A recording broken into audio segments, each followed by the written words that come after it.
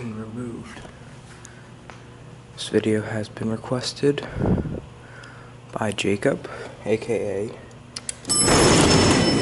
Woo! AKA Elevator 3322. Oh, look. Looks like they installed a bell over there. That might Please allow the doors to close.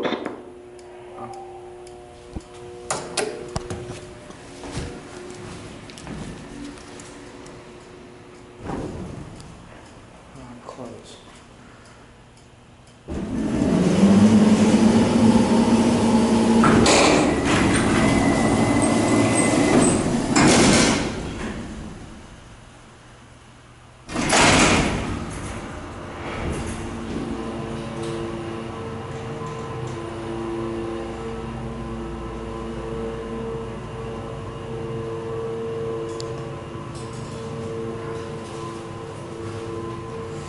Pretty sure this is a Westinghouse. Uh, be a but I'm not sure.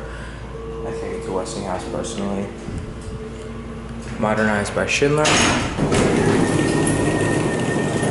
As they did the job on the passenger elevator in the pavilion as well. Alright. Epco Bell. Epco SSL fixtures. They don't seem to have any signs in here that say. Uh, Please allow the doors to close. That's pretty loud. Alright. Now Jacob wants me to imitate it, so I'm gonna say ring, ring, ring. Here, let's see. Huh. Putting your hand in front of the sensors turns it off. Okay. I think we're ready. Please allow the doors to close. See, the door close button doesn't work. It's a freight elevator, but the door close button doesn't work. Not sure why, but it's a Schindler issue. I'm not gonna press the alarm button because I usually would because they would be they would be used to it, but I'm not gonna.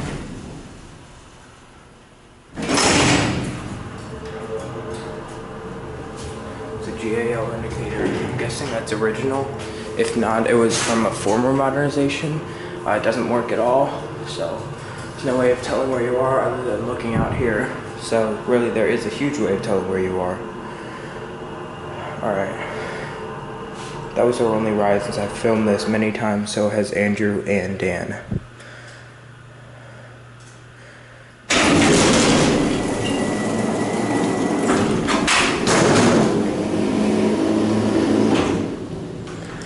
Now, usually you would end a freight elevator ride with the press of the door close button, but of course it Please doesn't. allow the doors to close. Okay.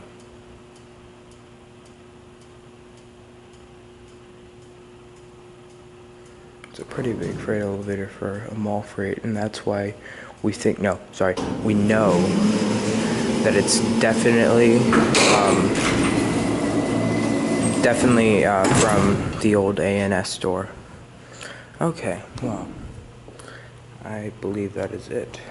There's the Coke machine, there's the loading dock. Okay, alright. On that note, let's go.